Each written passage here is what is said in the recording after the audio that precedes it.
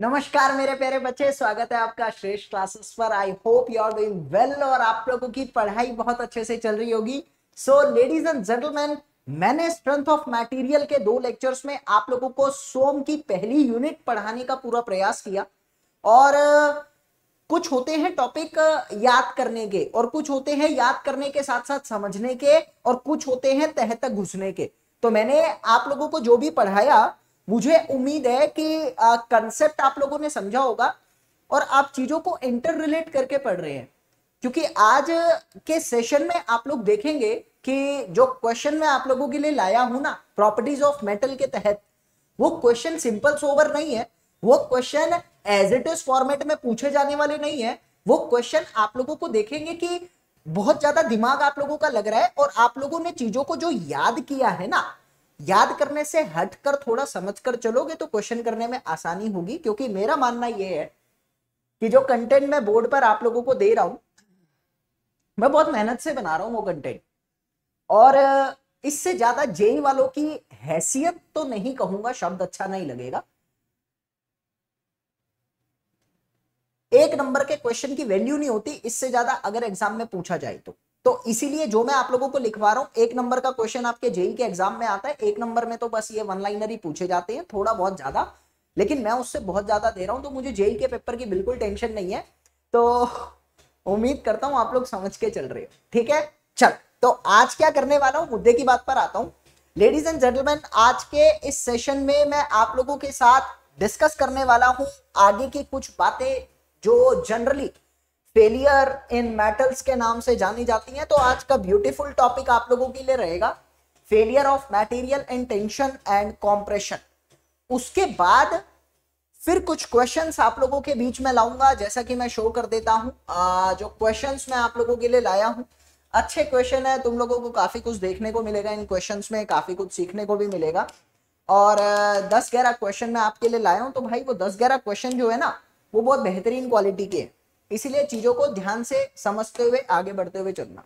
Revision करा दू दो मिनट ताकि आप लोगों को पिछला याद आ जाए और आगे के लिए तैयार हो जाओ। चल तो सबसे पहले बात आती है प्रॉपर्टीज़ ऑफ़ मेटल के तहत मैंने आप लोगों को क्या डिस्कस करा था? That is known to be as ductility मैंने आप लोगों को डक्टिलिटी का एक ही मतलब बताया था, और कहा था कि ductility is known to be as elongation अभी डक्टिलिटी तो बहुत आसान थी, समझ में आ गई थी। कुछ एग्ज़ाम्पल मैंने आप लोगों के साथ डिस्कस करे थे और बेसिक डेफिनेशन भी बताई थी कि जिसका प्लास्टिक स्ट्रेन पाँच परसेंट से ज़्यादा होता है, वो डक्टाइल होता है। ये चीज़ समझ आ गई लेकिन डक्टिलिटी से रिलेटेड क्या क्या पॉइंट आप लोगों के एग्ज़ाम में बन सकते हैं, वो मैं लिखवा रहा हूँ। That is called uniqueness note करके लिखना, आप लोगों ने कुछ बातें और मेरे साथ पढ़ी थी जिसको हम लोगों ने कहा था टफनेस और उसी के साथ मैंने एक और शब्द आप लोगों के साथ डिस्कस करा था, जिसको मैंने कहा था रेजिलेंस तो डक्टिलिटी है क्या? डक्टिलिटी एक ऐसी प्रॉपर्टी है जिसके तहत आपका मटेरियल जो है वो अपनी शेप को बदल सकता है। डक्टिलिटी एक ऐसी प्रॉपर्टी है जिसकी वजह से आपका मटेरियल लंबाई में बढ़ सकता है। डक्टिलिटी एक ऐसी प्रॉपर्टी है जिसकी वजह से आपके मटेरियल में फ्लेक्सिबिलिटी आती है। और डक्टिलिटी ही ऐसी प्रॉपर्टी है जो आपके मटेरियल को लचीला बनाता है। यानी लोड सहने की ताकत देता है। आपको यह बात बताई मैंने? लोड सहने की ताकत लचीले लोगों के पास ज़्यादा होती है। उदाहरण दिया था मैंने, पेड़ की डाली। The branch of tree if it is ductile और flexible in nature the more the load can bear by that डाली। हाँ जितना ज़्यादा वो लचीला होगा ना, उतना ज़्यादा वो लोड को सह सकता है। खड़े हुए सीधे लोग अक्सर टूट जाते हैं जल्दी। ये होता है। तो अब मैं आप लोगों को कुछ बातें लिखवा देता हूँ। डक्टिलिटी का मतलब आ गया। क्या मैं लिख सकता हूँ पहला पॉइंट यहाँ पर कि ductility is directly proportional to toughness और मैं ये भी लिख सकता हूँ ductility is directly proportional to resilience और मैं ये भी कह सकता हूँ ductility is directly proportional to malleability ये मैंने आप लोगों को पहले बता रखी है, मैं तो रिवाइज करा रहा हूँ। एग्ज़ाम में कहीं पूछना ले। ठीक है ना? अब इसी के साथ सुनो। अगली प्रॉपर्टी मैंने आप लोगों को बताई थी ब्रिटलनेस टूटना. शीशा हो या दिल हो, टूट जाता है. हाँ टूट जाता है. तो ये किसकी वजह से आता है? अगर इसकी मैं बात करूँ तो भाई मैंने पहले ही कहा था, जिसका प्लास्टिक स्ट्रेन पाँच परसेंट से कम होता है, वो ब्रिटल मटेरियल कहलाते हैं और अच्छा एग्ज़ाम्पल था कास्ट आयरन बाकी तो तुमको पता ही है। अच्छा डक्टिलिटी और ब्रिटलनेस के तहत दो बातें और लिखवाता हूँ। ब्रिटलनेस क्या करती है? आपको ये बात पहले भी पता है, जितना ज़्यादा मटेरियल ब्रिटल होता है, उतना ज़्यादा मटेरियल हार्ड होता है। क्या मैं ये बात लिख सकता हूँ? हाँ लिख तो सकता हूँ मैं यहाँ पर। बेसिक चीज़ आप लोगों को बता रखी है। इसके बाद मैंने एक और प्रॉपर्टी आपके साथ डिस्कस करी थी मिलियबिलिटी वो प्रॉपर्टी जिसकी वजह से आपका मटेरियल थिन शीट्स में कन्वर्ट हो सकता है। एग्ज़ाम्पल की मैंने बात करी थी तो बेस्ट एग्ज़ाम्पल आ रहा था इसका गोल्ड गोल्ड की एक ऐसी प्रॉपर्टी होती है जो उसको बहुत पतला बना देता है। आप गोल्ड को रोलर मशीन से फहराकर पतली शीट में कन्वर्ट कर सकते हो बहुत आसानी से। बाकी बहुत सारे मेटल है, जो डक्टाइल होता है वो मिलिएबल ज़रूर होता है। ये भी मैंने आप लोगों को बताया था। आगे इसके बाद मेरे पास प्रॉपर्टी आ रही थी that is called hardness basic basic चीज़ें मैं आपको सारी बता चुका हूँ। टफनेस भी बता चुका हूँ। टफनेस क्या होता है? इम्पैक्ट को सहने की ताकत टू बेयर द इम्पैक्ट और जितना अमाउंट ऑफ़ इम्पैक्ट एनर्जी पैदा होता है अमाउंट ऑफ़ स्ट्रेन एनर्जी किसकी वजह से या किसकी मदद से निकाला जाता है? मैंने आप लोगों को लास्ट लेक्चर में बताया था मॉडुलस ऑफ़ टफनेस और मैंने ये भी कहा था, आपको ये मॉडुलस वर्ड ना स्ट्रेंथ ऑफ़ मटेरियल के अंदर बहुत जगह देखने को मिलेगा। मॉडुलस वर्ड अपने आप में बहुत जगह आता है। मॉडुलस का एक ही मतलब होता है that is called magnitude whenever you need to find the magnitude of any strain energy, then you need to go with modulus of toughness. और अगर आप लोगों को strain energy per unit volume calculate करना है तो you need to go with another term that is called modulus of resilience मैंने आपको ये चीज़ बताई थी। और फॉर्मूला कैसे आया वो भी बताया था। तो मॉडुलस का मतलब एक ही होता है, जिसको हम लोग कहते हैं मैग्नीट्यूड बाकी जिस चीज़ के बारे में पढ़ोगे अच्छा एक और बताता हूँ। इलास्टिसिटी पता है ना? आराम से स्ट्रेस अपॉन स्ट्रेन इलास्टिसिटी के मैग्नीट्यूड को निकालना है। अब खुद ही पढ़ो, क्या कहोगे? मॉडुलस ऑफ़ इलास्टिसिटी तो मॉडुलस का मतलब होता है मैग्नीट्यूड रटना मत बेसिक बनाना अपनी तरफ़ से तो अच्छा लगेगा। ओके मैंने आपको ये भी बता दिया। और इसी के साथ मैंने फॉर्मूला भी लिखवाया था। इसका फॉर्मूला होता है sigma Y plus sigma U by two है ना? बेसिक चीज़ आता है। नाउ एक मैंने अच्छा पॉइंट आप लोगों के साथ लास्ट लेक्चर में डिस्कस करा था। ये बताने के बाद मैं एक चीज़ और बताना चाहता हूँ। नोट करके लिख लेना इंपॉर्टेंट पॉइंट है। एग्ज़ाम में पूछा जा सकता है, क्योंकि जेई में कई बार देखा मैंने ये। लेकिन मैं जो बताऊँ, अरे, क्या हो गया? अरे, रमेश, भूला नहीं हूँ यार। क्या है कि मैं थोड़ा बिज़ी रहता हूँ आजकल? सुबह छह बजे उठता हूँ मैं, पढ़ाने बैठता हूँ मतलब उठता तो बहुत पहले हूँ, और रात को ग्यारह बजे तक कॉन्टिन्यूसली मेरी क्लास चलती है। आप खुद समझदार हो, उस बीच में लंच करे हुए कितने दिन हो गए हैं मेरे को? सही में लंच करे हुए कितने दिन हो गए हैं मेरे को? अगर मैं लंच करता हूँ तो ब्रेकफास्ट नहीं करके आता, और अगर ब्रेकफास्ट करता हूँ तो लंच नहीं करता। मेरी ज़िंदगी में मेहनत अभी बहुत चल रही है, इसीलिए मैं फ़ोन नहीं उठा पाता। तो इसमें बुरा भला मानने की कोई बात नहीं है और ये कमेंट कर रही हो, जो आप ये अच्छे नहीं लगते हैं क्योंकि बड़े हो गए हो। आँसू इन आँखों से अच्छे नहीं लगते हैं क्योंकि मानिए मेरी बात को तुम्हारे आँसू आँसू नहीं है, किसी मोती से कम नहीं है मोतियों में गिनती होती है तो ऐसे वेस्ट मत करिए मोतियों को। ज़रूरत है भारत को इन मोतियों की, रोज़गार में भी और अर्थव्यवस्था बढ़ाने में भी, ठीक है? चलो। तो नोट की मैं बात करता हूँ, एक चीज़ याद रखना, सुनी भी होगी कि कार्बन कंटेंट जो होता है ना लास्ट लेक्चर में हो सकता है मैंने बताया हो बट लिख लो। कार्बन कंटेंट इंक्रीजेस व्हाट आपके मटेरियल की हार्डनेस को बढ़ाता है। अब हार्डनेस बढ़ती है तो कहीं ना कहीं स्ट्रेंथ भी बढ़ाता है। एंड स्ट्रेंथ ऑफ़ मटेरियल आपके मटेरियल की हार्डनेस को बढ़ाता है और स्ट्रेंथ को भी बढ़ाता है। और एक चीज़ आप लोगों को सबको पता है कि अगर मटेरियल की हार्डनेस बढ़ेगी ना तो मटेरियल एकदम ये तेरे भाई का छप्पन इंच का सीना वाला फॉर्मेट में आ जाएगा। तो मटेरियल झुक नहीं पाएगा। नहीं जिम करने वालों को देखा है कभी? यही होता है। लेकिन जिम करने वाले भाई ऐसे करो तो ढंग से झुक नहीं पाते। या मांस भर जाता है ना बहुत ज़्यादा। तो ये ये वाला जो सीन होता है वो झुक नहीं पाता। वही सीन है। हार्ड तो हो जाता है। डक्टाइल नहीं हो पाता। और एक चीज़ हमेशा याद रखना दुनिया के अंदर मैंने गूगल पे भी देखा और मैंने किताबों में भी पढ़ा और मेरी खुद की सोच थी। जब भी मैंने देखा कि जो मटेरियल हार्ड होता है ना, वो मटेरियल कभी डक्टाइल नहीं बन पाता। ऑब्वियसली कॉमन सेंस है। क्यों? क्यों? लास्ट लेक्चर में अगर मेरी बातों को ध्यान से सुना हो तो तुम लोगों को रीजन बताया था। हार्डनेस जो आती है, वो इंटरलॉकिंग का फिनोमिना होता है। हार्डनेस किसका फ़ंक्शन होता है? इंटरलॉकिंग का फ़ंक्शन जिसको कोहेजन के नाम से जानते थे, है ना? और डक्टिलिटी किसका फिनोमिना होता है?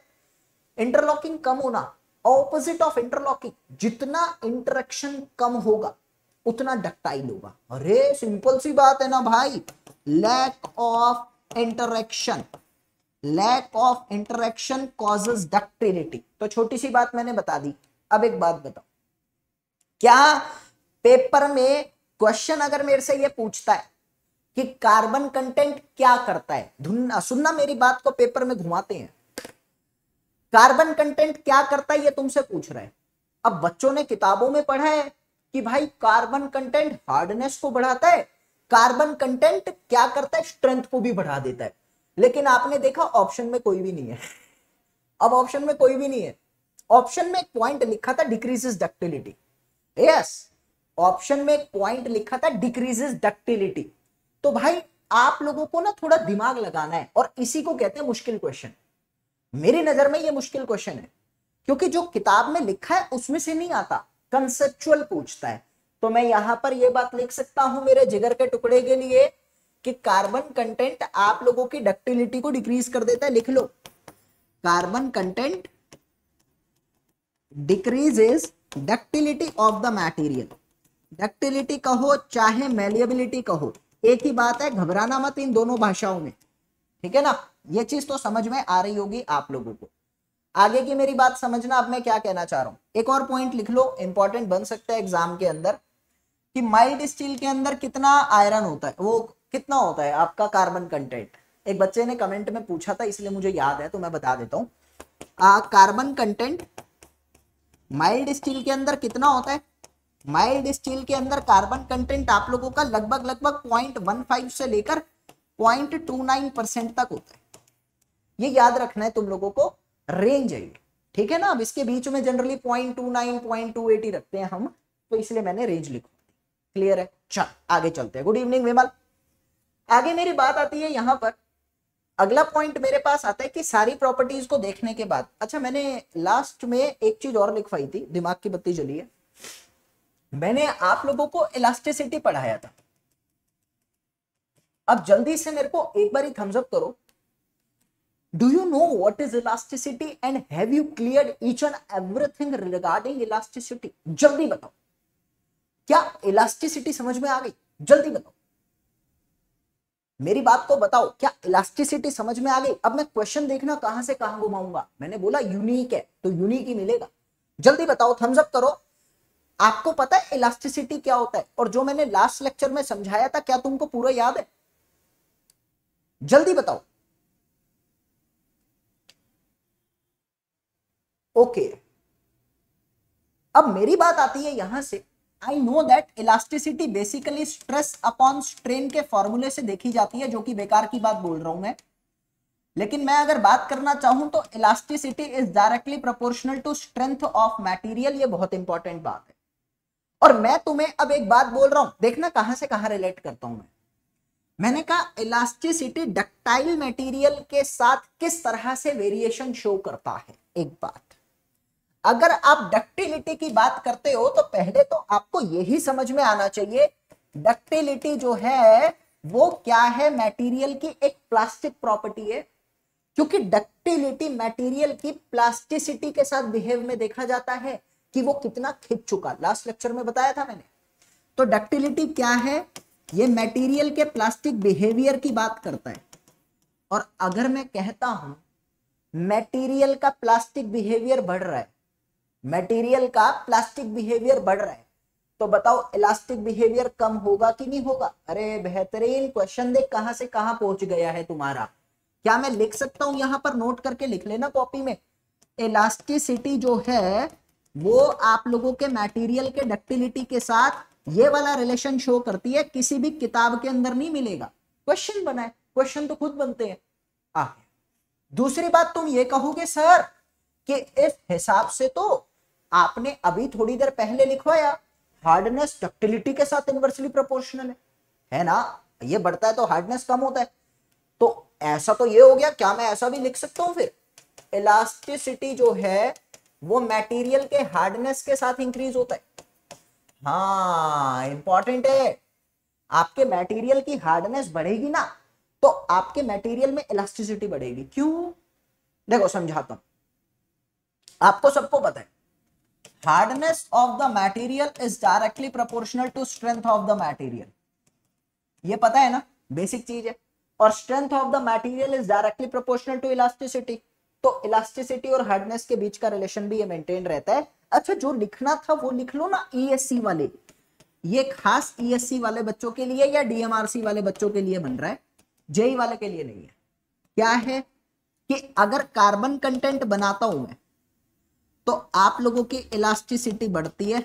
ये मेरे को असल में बताना था और मैंने दो तीन चीज़ें आप लोगों के साथ इंपॉर्टेंट पॉइंट ऑफ़ व्यू के रिगार्डिंग बताई है। ठीक है?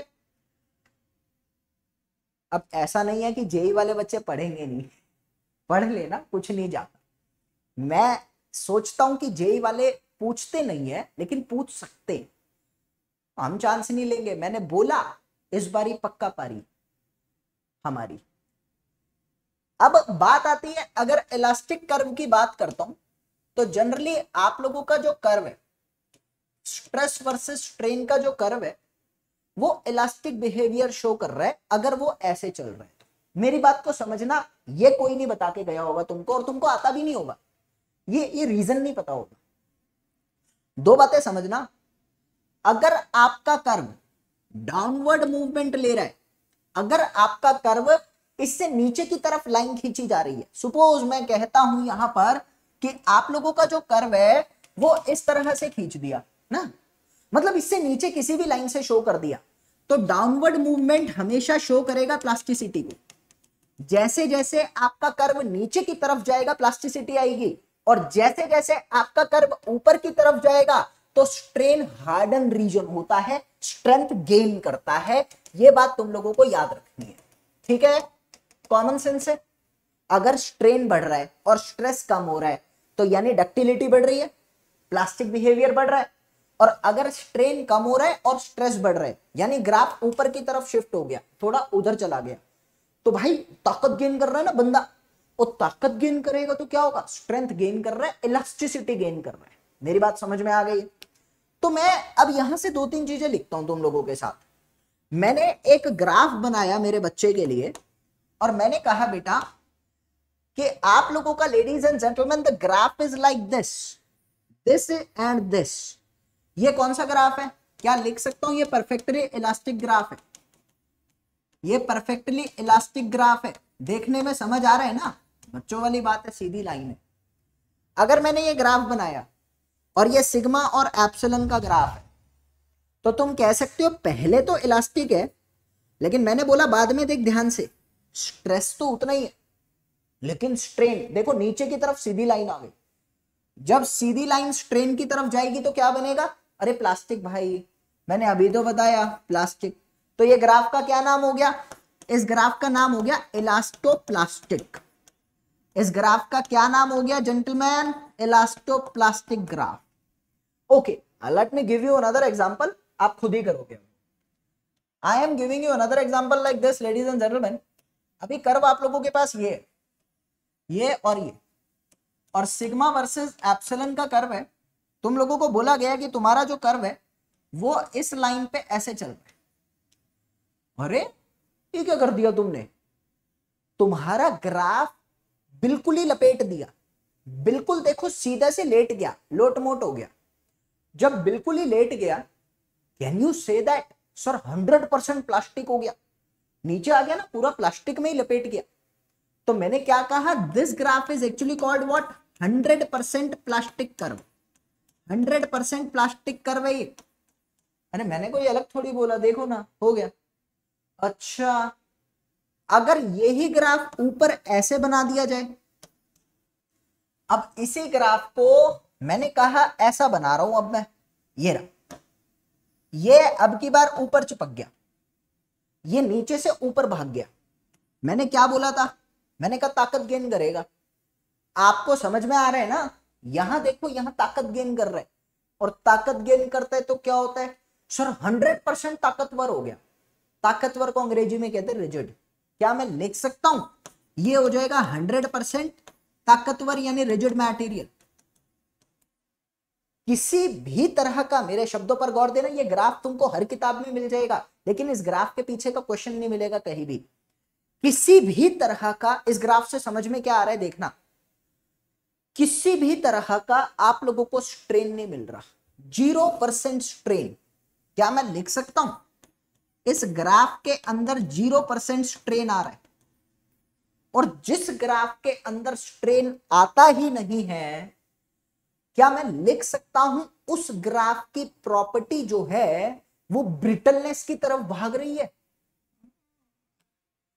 उस ग्राफ की प्रॉपर्टी जो है वो ब्रिटलनेस की तरफ़ भाग रही है। आप मेरी बात को समझ रहे हो कि नहीं समझ रहे? क्या मैं लिख सकता हूँ इसी ग्राफ को लेकर कि ये जिस भी मटेरियल के लिए बनाया गया है, वो मटेरियल परफेक्टली ब्रिटल मटेरियल है। आप मेरी बात को समझ रहे हो? ये ग्राफ जिसके लिए भी बनाया गया है, वो मटेरियल कैसा है? वो मटेरियल परफेक्टली ब्रिटल मटेरियल है। चलो, अभी ये दुनिया की किसी किताब में गूगल पे नहीं लिखा होगा। इसीलिए लिख लेना, हल्के में मत लेना। और गलत नहीं है ये क्वेश्चन बन सकता है क्योंकि पीएससी लेवल के क्वेश्चन है ये। मज़ा आ रहा है ना? आ रहा है ना? मैंने शुरू में कहा था यूनिक कुछ करेंगे। लग रहा है कि नहीं लग रहा? है जल्दी बताओ। आगे जब ही चलूँगा अब तुम्हारी तरफ़ से तवज्जो आएगी। यूनिक लग रहा है कि नहीं लग रहा? है जल्दी बताओ। बिकॉज़ मैं यार, मैं आपको बताऊँ ये चैनल मैंने बहुत बहुत घाट घाट का पानी पीने के बाद और बहुत सोच समझ के विमर्श करने के बाद, बहुत एक्सपीरियंस गेन करने के बाद खोला है।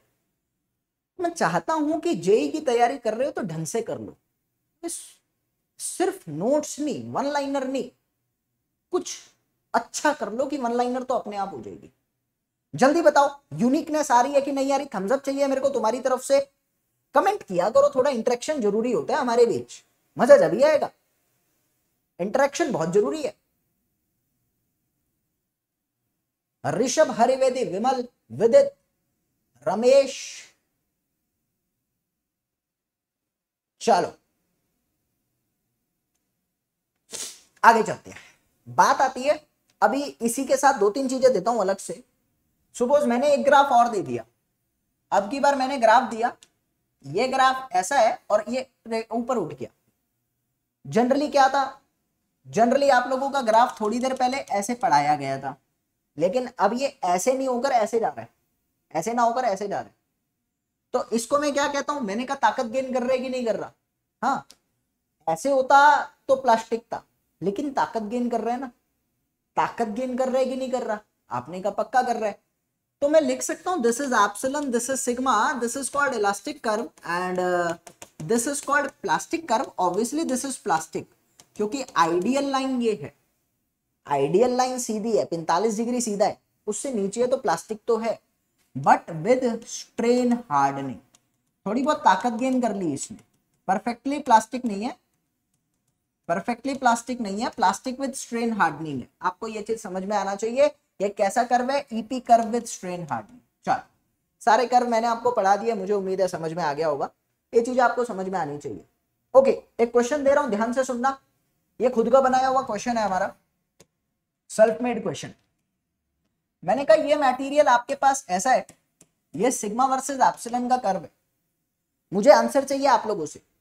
दो कर्व है आपके पास this is your curve one and this is your curve two मुझे सिर्फ़ ये बताओ कि ब्रिटल कर्व कौन सा है? मोर ब्रिटल मटेरियल कौन सा है? ए और बी जल्दी बताओ। ब्रिटल मटेरियल कौन सा है दोनों में से? जल्दी बताओ।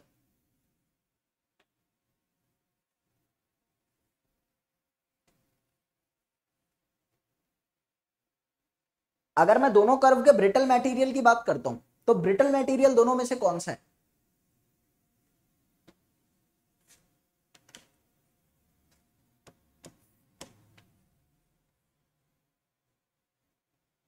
कहाँ रह गए? इतना टाइम लगा दिया। सुरेश बिश्नॉय कह रहे हैं, पहला नंबर है। जी जीशान शेख पहला, रजत पहला। होशियार हो गए हो, हैं? बढ़िया। समझ में आ रहा है? मेरे ख्याल में बढ़िया चल रहा है। मेरे ख्याल में तो पहला ही है। ऑब्वियसली क्यों? क्योंकि स्ट्रेन कम है। इसके अंदर लेसर स्ट्रेन है। इसके अंदर स्ट्रेन ज़्यादा है, जिसकी वजह से ज़्यादा स्ट्रेन होगा तो डक्टाइल ये होगा ये होगा ब्रिटल और ये होगा डक्टाइल खत्म। बेसिक चीज़ थी, सबका सही है, सबको समझ में आ गया।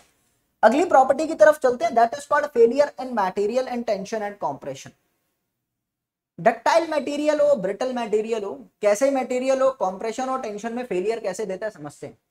अच्छा डक्टाइल मटेरियल जब भी दिमाग में आएगा तो लोहे की रोड आनी चाहिए। लोहे की rod is ductile material.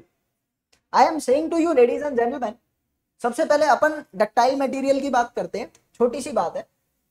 अगर मैं डक्टाइल मटेरियल की बात करता हूँ तो लोहे की रोड को खींचो अगर। अच्छा चलो लोहे की रोड भी क्यों? मैं तो और आसान बनाता हूँ। दो एग्जांपल दूँगा, एक है च्विंगम बबल गम होती है ना सेंटर फ्रेश खाई, खाने के बाद हाथ में ली, अब ये मत करना छी। इंजीनियर है हम लोग हमने शर्माते। ऑब्वियसली तो खींची तो क्या होता है?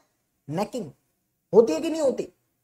आपने कहा, अगर आप खींचते हो च्विंगम को तो च्विंगम में नेकिंग होती है। और अगर च्विंगम में नेकिंग होती है तो ज़ाहिर तौर पे मैं कह सकता हूँ, आपकी च्विंगम कैसा एरिया बना रही है? छोटी सी बात बता रहा हूँ यार। ये च्विंगम इस तरह का एरिया बना लेती है अपने आप। ये लंबा लंबा लंबा लंबा ऐसे। तो यहाँ पर अगर ध्यान से देखो, इसके साथ ही कितना कोण बना रहा है। ये एंगल जनरली कितना बना रहा है? पैंतालीस डिग्री। तो डक्टाइल मटेरियल के अंदर जब उसको खींचा जाता है, जब उसको खींचा जाता है तो वो कोन एंड कप शेप के साथ टूटता है और ये सेंटर पे 45 डिग्री का एंगल बनाता है और डिफॉर्म हो जाता है।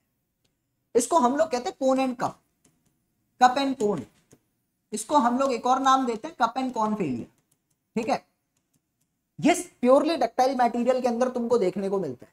किसके अंदर मिलेगा? सिर्फ़ डक्टाइल ओनली विजिबल इन ये लिख लो, किताबों में नहीं मिलेगा। Only visible in pure ductile material pure ductile material के अंदर तुमको ये देखने को मिलेगा। अब कई बार मैं बता देता हूँ।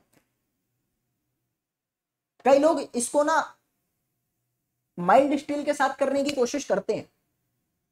और माइल्ड स्टील भी आपको मैं बता दूँ प्योर नहीं होती कभी। नहीं होती। उसमें भी वेरिएशन आती है। अगर वो प्योर माइल्ड स्टील है तो 45 आएगा। अदरवाइज़ 45 नहीं आएगा शेप बिगड़ जाएगी। तो प्योर माइल्ड स्टील के अंदर ही देखने को मिलेगा अदरवाइज़ नहीं मिलेगा। You need to remember this very beautiful thing अब मेरी बात आती है यहाँ से। कि आप लोगों के पास अगर आप अपने डक्टाइल मटेरियल को दबाते हो, सुनना मेरी बात। अगर आप अपने डक्टाइल मटेरियल को दबाते हो सपोज़ ये आपकी लोहे की रोड है और आप लोग इसको दबा रहे हो तो दबा रहे हो तो क्या होगा? ये ऐसे फैल जाएगा ना? ये ऐसे फैल जाएगा ऑब्वियसली और तुम देखोगे, और दबाओगे और दबाओगे और दबाओगे तो फैलने के बाद इस पोर्शन में क्रैक डेवलप कर देगा। किनारे किनारे पर, यहाँ पर क्रैक आ जाते हैं। यहाँ पर क्रैक आ जाते हैं, आते हैं, पक्का आते हैं। तो लोड तो इस डायरेक्शन में जा रहा है और क्रैकिंग इस डायरेक्शन में जा रही है। बताओ कितने एंगल हुआ? 90 डिग्री का। तो कॉम्प्रेशन के केस में डक्टाइल मटेरियल में 90 डिग्री का फेलियर होता है। मैं दिखा देता हूँ। ये रहा। ये आप लोगों का फ्रैक्चर प्लेन है। डक्टाइल मटेरियल है ये पूरा। ये डक्टाइल मटेरियल है। विद कॉम्प्रेशन कॉम्प्रेशन के साथ जब डक्टाइल मटेरियल की बात करी जाती है तो वो 90 डिग्री के फेलियर एंगल पे फेल होता है। वो चीज़ तुमको याद रखनी है और प्रैक्टिकली दिमाग में इमेजिन कर रहे होंगे तुम लोग। आगे बात आती है, यहाँ से कोई बड़ी बात नहीं है छोटी छोटी बातें बता रहा हूँ। अगर ब्रिटल मटेरियल को खींचते हो, शीशे को खींचो, जब शीशो के खींचोगे तो क्या होगा? बीच में से टूट जाएगा। शीशा है, खींचोगे तो बीच में से क्रैक आएगा ना। तो यही वो तुमको कह रहा है कि शीशा will break from middle portion और लोड के परपेंडिकुलर डायरेक्शन में फेल होता है। तो ब्रिटल मटेरियल की अगर मैं बात करता हूँ तो ब्रिटल मटेरियल इन टेंशन कैसे फेल होता है? Have 90 degree failure plane have 90 degree failure plane with load आपके लोड के साथ 90 डिग्री का फेलियर प्लेन बनाता है। और ये कितने का बनाता है? 45 डिग्री प्लेन फेलियर प्लेन बनाता है विद लोड ठीक इसी तरह अगर ब्रिटल मटेरियल को कॉम्प्रेस करते हो, शीशे को कॉम्प्रेस करना तो जब शीशे को कॉम्प्रेस करोगे ना तो आपका शीशा कैसे टूटता है? बीच में से शीयर फोर्स ऐसे टूटता है। आधा हिस्सा स्लाइड करेगा, आधा ऊपर जाएगा तो यहाँ कैसा फेलियर होता है? शियर फेलियर होता है, ये बात तुमको याद रखनी है। आपके शीशे के अंदर ब्रिटल मटेरियल विद कॉम्प्रेशन है ये। अगर आप अपने मटेरियल को कॉम्प्रेस करोगे तो कॉम्प्रेस करने पर आपका मटेरियल कैसा फेलियर प्लेन देता है? 45 degree with load 45 degree with load तुमको फेलियर प्लेन देता है। और कौन सा फेल होता है? शियर फेलियर होता है। ये तुमको याद रखना है।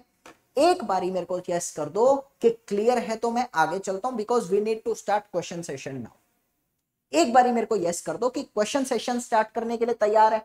अच्छा जल्दी से फिफ्टी कर दो इसको राउंड ऑफ़ करके। आधे से ज़्यादा हो चुके हैं फिफ्टी कर दो जल्दी से।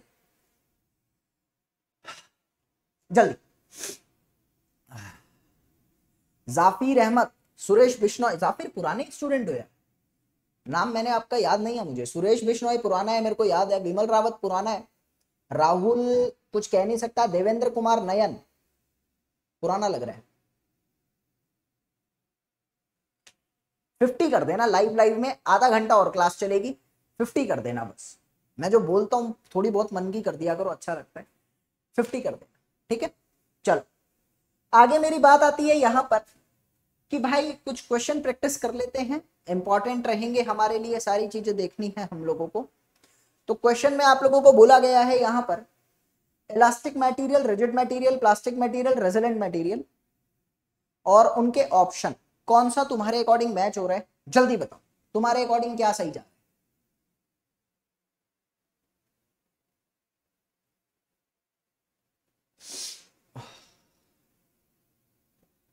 वेटिंग फॉर द कमेंट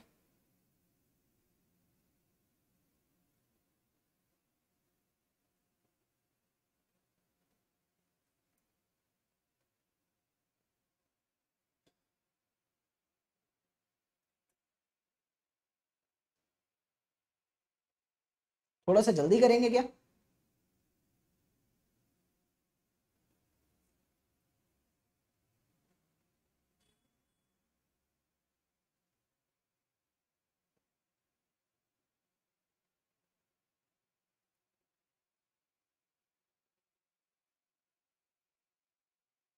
चलो, मैं करवा देता हूँ। क्या कह रहा है? ध्यान से सुनना। क्वेश्चन में आपको बोला गया यहाँ पर कि इलास्टिक मटेरियल है। इलास्टिक मटेरियल की प्रॉपर्टी क्या होती है? ऑब्वियसली इलास्टिक की मैंने आप लोगों को बताई कि स्ट्रेंथ ज़्यादा होती है और स्ट्रेंथ अगर ज़्यादा है तो डिफॉर्म नहीं होगा। अपनी पोजीशन पे वापस आ जाता है। डिफॉर्म नहीं होगा ना? तो I can say that can not deform देखो क्वेश्चन की खूबसूरती देखना इतने आसान नहीं है और चीज़ों को सोचकर करना है। इलास्टिक मटेरियल डिफॉर्म नहीं हो सकता या डिफॉर्म होने से रुकेगा।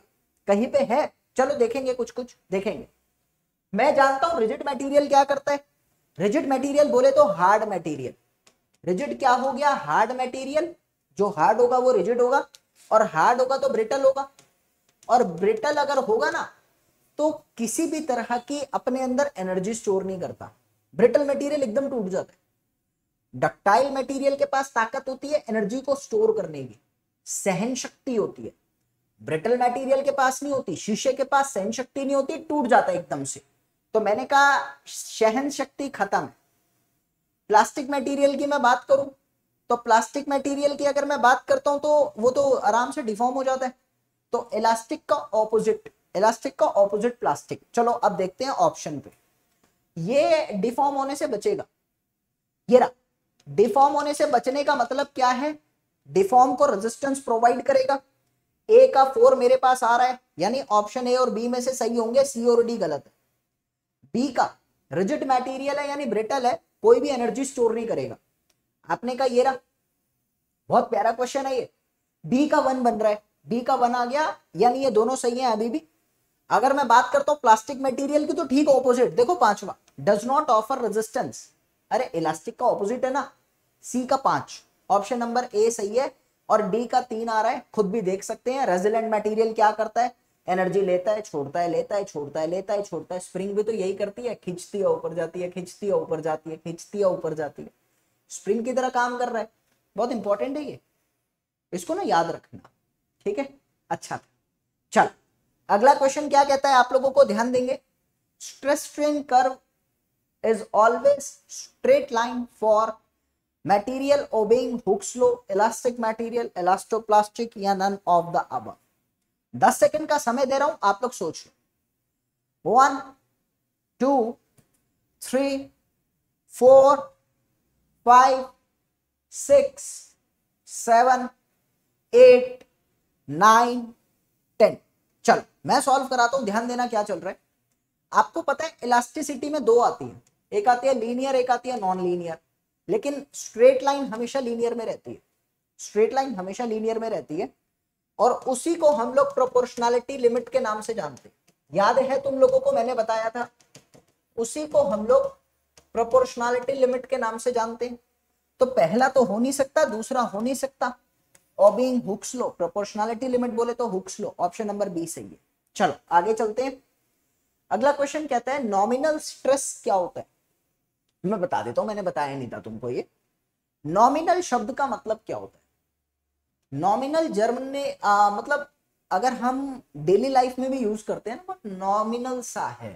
जनरली जब नॉमिनल सी बात आती है तो थोड़ा थोड़े का मतलब एवरेज बात करते हैं ना तो बहुत ज़्यादा ना तो बहुत कम। तो नॉमिनल शब्द जनरली मीनिंग अपने आप में रखता है एवरेज तो नॉमिनल स्ट्रेस टेक्निकली भी एवरेज स्ट्रेस की बात करता है। यह बात तुम लोगों को याद रखनी है काम ठीक है? अगले टर्म पे चलते हैं। Consider the statements strength of material increases with carbon content obviously मैंने आपको सही बताया ना। Young's modulus increases with carbon content Young's modulus remains unchanged with variation of carbon content अरे यार।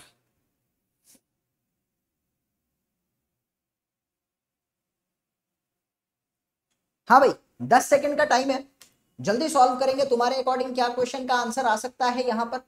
आप लोगों को बोला गया है कि तुम्हारे अकॉर्डिंग इनमें से कौन सा स्टेटमेंट सही जा सकता है? कार्बन कंटेंट के साथ आपकी स्ट्रेंथ पे क्या फ़र्क आता है? बढ़ती, घटती क्या होती है? ये तुमसे पूछा गया ten nine eight seven six five four three two one चले सॉल्व करते हैं क्या हो रहा है। ऑब्वियसली आपको पता है, पहला तो एकदम सही है। यंग्स मॉडल्स जो है, वो फिक्स रहता है हर मटेरियल के लिए, है ना? आपको पता है elastic modulus is fix for every material तो यंग्स मॉडल्स तो कार्बन कंटेंट बढ़ाओ चाहे घटाओ वो फिक्स रहेगा। तो बस यही है। तो वन एंड थ्री करेक्ट है। ठीक है? चलो, आगे चलते हैं। बहुत इंपॉर्टेंट था ये भी। अभी तुमको बोला गया है what would be the shape of the failure surface standard cast iron cast iron है ब्रिटल मटेरियल है। Subjected to the torque brittle material है और अगर उस पर टॉर्क दे रहे हो तो क्या होगा? ब्रिटल मटेरियल को और समझते हैं। चौक देखिए चौक जिससे बोर्ड पे लिखते कभी चौक को पकड़ना और घुमाना। चौक को पकड़ना और घुमाना। जब तुम घुमाओगे तो देखोगे कि आपकी जो चौक है, वो किस तरह से टूटेगी? ये मान लीजिए आपकी चौक है। आप जब इसको घुमाओगे तो ये बीच में से ऐसे टूटेगी। हाँ ट्विस्टिंग पैदा करोगे तो इमेजिन करो ना दिमाग के अंदर। जैसे चौक है, इसको घुमाऊँगा ना तो ये ऐसी शेप में टूट जाएगी बीच में से। और ये कितना एंगल होता है? पैंतालीस डिग्री हो गया। फोर्टी फाइव डिग्री का एंगल होता है। तो मैंने कहा ऑप्शन नंबर डी आ रहा है ना, देखो ये रहा, हो गया। क्लियर है लेडीज़ एंड जेंटलमैन इंपॉर्टेंट है, याद रखेंगे। अगला क्वेश्चन क्या कहता है? देख रहे हो तुम लोग, थोड़ा दिख रहा है। हाँ देख तो रहे increases in the carbon content increases the brittleness. कुछ तो मैं लग रहा है मैं सही कह रहा हूँ। हाँ कार्बन कंटेंट जब बढ़ता है ना बॉडी का तो उसकी ब्रिटलनेस बढ़ती है ये तुम लोगों को याद रखना है। आ, अच्छा पॉइंट है।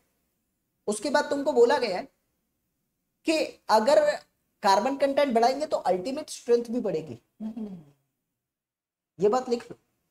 अल्टीमेट स्ट्रेंथ जो होती है मटेरियल की अल्टीमेट स्ट्रेंथ जो होती है मटेरियल की, वो किसका फ़ंक्शन होता है? इज़ द फ़ंक्शन ऑफ़ ये बुक में नहीं मिलेगा तुम लोगों को is the function of elastic modulus of material elastic modulus अगर बढ़ेगा तो अल्टीमेट बढ़ेगा, नहीं तो कार्बन कंटेंट के साथ नहीं बढ़ता ये, ठीक है? क्योंकि आपको मैंने बताया elastic modulus is independent on carbon content नहीं बढ़ता। तो भाई दूसरा तो बिल्कुल गलत है, पहला एकदम सही है। ऑप्शन नंबर सी मेरे पास सही जा रहा है, पहला सही और दूसरा गलत। आपको दिख रहा होगा, उम्मीद है कोई दिक्कत नहीं है, ठीक है?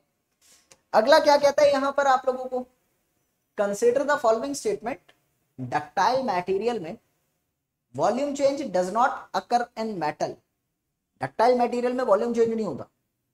शेप चेंज होता है वॉल्यूम चेंज नहीं होता, ऐसा कह रहा है। परफेक्टली प्लास्टिक मटेरियल में डेंसिटी रिमेन्स कांस्टेंट ये तुमको बोला जा रहा है। तुम्हारे अकॉर्डिंग कौन सा सही जा सकता है? जल्दी करेंगे। ऑप्शन ए बी सी और डी जल्दी करेंगे।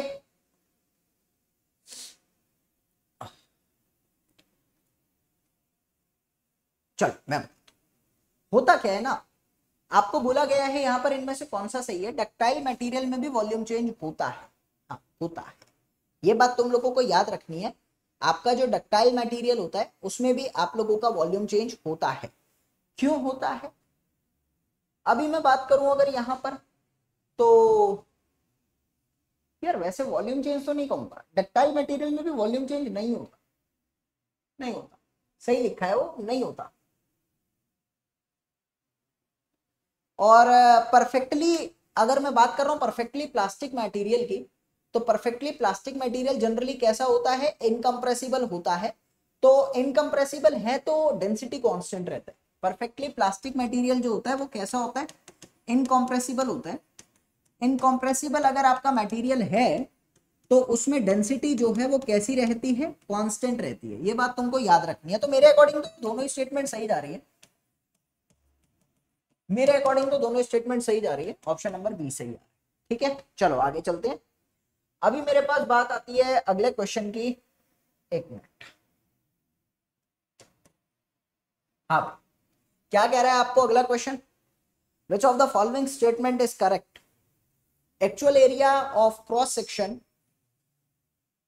during loading is consider in engineering stress मैंने दो तरह के स्ट्रेस आपको बताए थे। एक होता है इंजीनियरिंग स्ट्रेस एक होता है एक्चुअल स्ट्रेस तो एक्चुअल एरिया जो है, वो इंजीनियरिंग स्ट्रेस के दौरान कंसीडर होता है। Within elastic limit actual stress and engineering stress are nearly the same कौन सी स्टेटमेंट तुम्हारे अकॉर्डिंग सही जाएगी?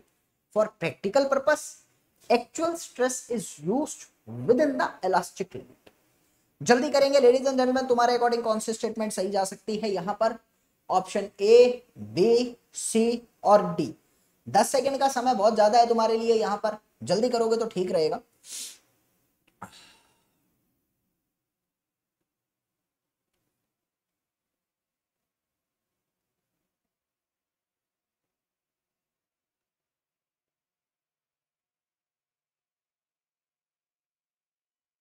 चल, मैं बता होता क्या है यहाँ पर? एक तो आप ये ध्यान रख लीजिए प्रैक्टिकल पर्पस के लिए एक्चुअल नहीं इंजीनियरिंग स्ट्रेस को ही लिया जाता है अगर इलास्टिक लिमिट के अंदर की बात चल रही है।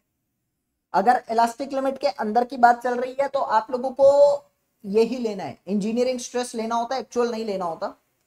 तो तीसरा तो बिल्कुल सही नहीं है। तीसरा तो बिल्कुल सही नहीं है। अगर मैं बात करता हूँ यहाँ पे actual area of cross section during loading is consider in engineering stress no actual नहीं लिया जाता। जो ओरिजिनल होता है बिफोर लोडिंग पहला भी बिल्कुल गलत है। पहला गलत बिफोर लोडिंग जो लिया जाता है एरिया जो डिक्रीज और इंक्रीज नहीं होता ओरिजिनल एरिया वो इंजीनियरिंग स्ट्रेस में लिया जाता है, आपको पता होना चाहिए। और विद इन इलास्टिक लिमिट दोनों नियरली सेम होते तो दूसरा स्टेटमेंट एकदम सही जा रहा है, बाकी दोनों स्टेटमेंट एकदम गलत है, आप लोगों को इसके बारे में पता होना चाहिए। ठीक है? चल, आगे चलते हैं यहाँ पर। अगला क्वेश्चन बहुत प्यारा क्वेश्चन है बट लंबा है, फिर कभी दूँगा आप लोगों को। आगे चलता हूँ। कह रहे मटेरियल एलोंगेशन लेस देन पाँच परसेंट आर कॉन्सिडर्ड ब्रिटल तो फैक्टर ऑफ़ सेफ्टी किस पे डिपेंड करता है? कहाँ से काम पूछ रहा है? ए लेवल का क्वेश्चन है ये। आपको ब्रिटल मटेरियल की डेफिनेशन पता है, वो इन्होंने भी दे दी। कह रहे हैं कि ब्रिटल मटेरियल में फैक्टर ऑफ़ सेफ्टी किस पे डिपेंड करता है, वो बताओ, जल्दी से। ऑप्शन ए सोचो थोड़ा सा, उसके बारे में फिर मैं बता देता हूँ आप लोगों को इसकी क्या कंडीशन जाने वाली है। Option A option B option C limit of proportionality and option number D तुमको कह रहा है अल्टीमेट स्ट्रेस जल्दी करेंगे लेडीज़ एंड जेंटलमैन तुम्हारे अकॉर्डिंग क्या कंडीशन है? फैक्टर ऑफ़ सेफ्टी किस पे डिपेंड करता है? चलो, मैं बता देता हूँ। कोई भी मटेरियल हो, कोई भी मटेरियल हो, लिख लो एनी मटेरियल आपका factor of safety yield stress से पहले मेजर होता है। यील्डिंग अगर हो जाए प्रैक्टिकली सोचना अगर मटेरियल की यील्डिंग हो जाए तो यील्डिंग का मतलब होता है इलोंगेशन या डिफॉर्मेशन डिफॉर्मेशन जब मटेरियल में आती है तो आप सोचकर चलते हैं कि यील्डिंग हो गई। तो अभी बात आ रही है कि अगर मटेरियल में यील्डिंग हो ही जाती है तो वो तो फेल हो जाएगा। अगर मटेरियल फेल हो गया तो प्रॉब्लम क्रिएट हो जाएगी। हाँ तो यील्डिंग तो होने नहीं देनी। यील्डिंग से पहले ही सब कुछ करना है। तो what actually you need to do मेरे प्यारे बच्चे?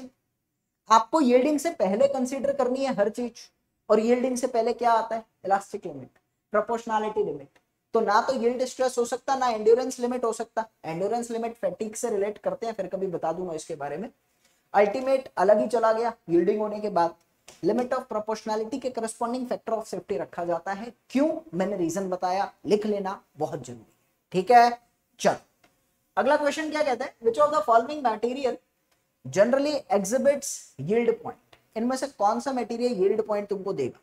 ऑप्शन एबीसीडी जल्दी करो, बहुत अच्छा और बहुत बेसिक क्वेश्चन है। इनमें से कौन सा मटेरियल यील्डिंग पॉइंट तुम लोगों को देगा?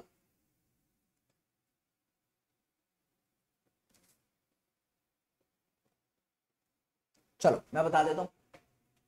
भाई, ये तो दे नहीं सकता, क्यों? क्योंकि ब्रेटल है, और ब्रेटल मटेरियल में यील्डिंग ढंग से हो नहीं पाती। ब्रास तुमको दे देगा, इसमें कोई दिक्कत नहीं है। कोल्ड रोल्ड स्टील, ये भी ब्रिटल हो जाती है। ये हार्ड मटेरियल की कैटेगरी में आ जाता है तो ये भी नहीं देता। और एनिल्ड एनिल्ड अगर आ गया तो ये मिलिएबल आ जाता है। एनिल्ड पहले से ही मिलिएबल मटेरियल होता है तो इसीलिए ये भी ढंग से नहीं दे पाता। पहले से ही मिलिएबल मटेरियल होता है, एनिल्ड मटेरियल। तो soft brass properly yield point तुमको देगा, क्वेश्चन अच्छा था, तुमको पता होना चाहिए।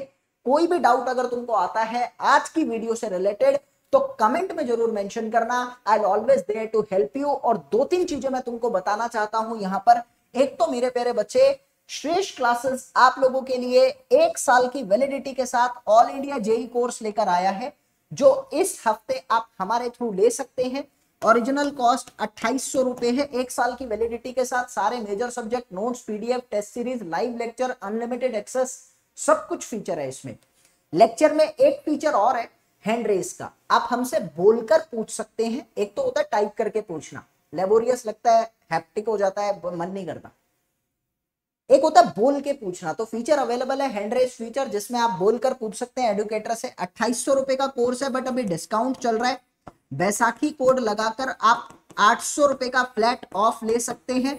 और इसी कोर्स को एक साल के लिए, इस वीक के लिए 19 तारीख से पहले पहले इसी कोर्स को दो हज़ार रुपए में अवेल कर सकते हैं। इसी के साथ ऐप पर आप लोगों के लिए बहुत सारी चीज़ें अवेलेबल हैं। आप देखेंगे 600 civil engineering mix question with solution detailed solution CBT pattern के साथ सिर्फ़ फिफ्टी वन रुपीज़ में अवेलेबल है ऐप पर। आप जाइए, आपको दिखेगा ऐप का लिंक डिस्क्रिप्शन में मिल जाएगा आपको। आप वहाँ से डाउनलोड कर सकते हैं। और कंप्लीट इरिगेशन का कोर्स थ्री हंड्रेड रुपीज़ में है। स्ट्रेंथ ऑफ़ मटेरियल का कोर्स अगर आपको पेड में चाहिए है तो सेवन हंड्रेड रुपीज़ में अवेलेबल है। वन लाइनर वन लाइनर के बारे में सबको पता है, आप लोगों के एग्ज़ाम आ रहे हैं तो one liner soft copy soft copy one liner की आप लोगों के लिए फिफ्टी वन रुपीज़ में अवेलेबल है। आप अवेल कर सकते हैं पूरी one liner as it is बारह मेजर सब्जेक्ट है इसमें। सॉफ्ट कॉपी है रीड ओनली फॉर्मेट है। इक्यावन रुपीज़ में आप इसको ले सकते हैं। डिस्क्रिप्शन में ऐप का लिंक है ऐप में आपको सब कुछ मिल जाएगा। इसी के साथ ऐप में हम आपको फ्री कंटेंट देते हैं। डेली की पीडीएफ आप लोगों को ऐप में मिलती है। आप लोग ऐप को इंस्टॉल करेंगे ना साइड में मेन्यू ऑप्शन होता है। मेन्यू ऑप्शन को खोलेंगे तो स्टडी मटेरियल पे क्लिक करना। वहाँ तुमको सेकंड ऑप्शन में दिखेगा स्टडी मटेरियल स्टडी मटेरियल पे क्लिक करोगे तो वहाँ स्ट्रेंथ ऑफ़ मटेरियल का एक पूरा बॉक्स बना रहेगा फोल्डर उसमें तुमको फ्री नोट्स मिलते हैं हमारी तरफ़ से। तो आप लोग हमारे साथ डेली बन सकते हैं, हमारे लेक्चर से फ़ायदा उठा सकते हैं। और अगर पेड कोर्स में जोड़ना है तो वहाँ पे भी आ सकते हैं।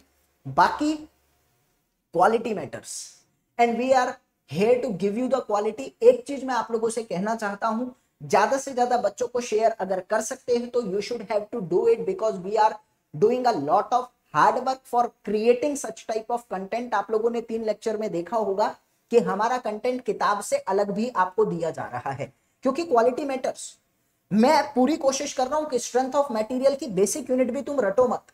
और अगर रटना भी है तो उसके साथ इतना ज़्यादा सोच लो कि वो अपने आप ही रट जाएगी। आप लोगों को मैं बहुत कुछ ऐसा लिखवा रहा हूँ जो बुक्स में अवेलेबल नहीं है और तुम सोचोगे तो तुम्हारे बड़े से बड़े क्वेश्चन आसानी से सॉल्व हो जाएँगे और यूनिक क्वेश्चन लाने की कोशिश कर रहा हूँ डेली डेली तो इसीलिए अपने दोस्तों को शेयर करिए ताकि रिस्पॉन्स बढ़े थोड़ा सा और रिस्पॉन्स बढ़ेगा तो आपका और मेरा दोनों का फ़ायदा है। ठीक है? तो चलता हूँ। वीडियो पसंद आए तो लाइक करना शेयर करना और थैंक यू का कमेंट ज़रूर लिखा करो ऑफलाइन में, क्योंकि अच्छा लगता है। करके देखिए, ठीक है? सो जय हिंद, जय भारत। हँसते रहो, मुस्कुराते रहो, खेलते रहो, पढ़ते रहो, बच्चों को पढ़ाते रहो, क्योंकि शिक्षा तो बांटने से बढ़ती है। एग्ज़ाम की तैयारी जम के करते रहो, क्योंकि एक बार अगर जेई लग गए ना, फिर दूसरे एम की तरफ़ चलेंगे। ज़िंदगी, मेरा मेरा मानना ये ज़िंदगी कभी सेटल नहीं होनी चाहिए। जिस दिन ज़िंदगी सेटल हो गई उस दिन बैलेंस बिगड़ जाएगा। और डॉक्टर एपीजे अब्दुल कलाम साहब बड़ी प्यारी बात बोलकर गए कि जिस तरह साइकिल का बैलेंस बनाने के लिए चलती रहनी चाहिए ना, ठीक इसी तरह ज़िंदगी में भी बैलेंस बनाने के लिए एक जगह रुकनी नहीं चाहिए। जेई बनने के बाद भी ये मत सोचना कि बस कुर्सी पे बैठना है। तशरीफ़ को बिठाकर मन को और कहीं लगा ना आगे की तरफ़ बढ़ना है। हाँ सारी ज़िंदगी ये चलता रहेगा। और इसी को ज़िंदगी कहते हैं। ठीक है? सर चलता हूँ। बाय